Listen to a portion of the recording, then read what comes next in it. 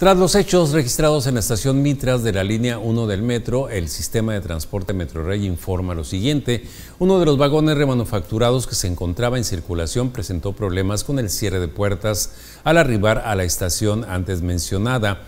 Por protocolo de seguridad se procedió a cambiar a las usuarias y usuarios de tren para cuidar la integridad, de cada uno de ellos. El retraso ocurrió durante el cambio de usuarios, lo que impedía que el siguiente tren arribara a la estación.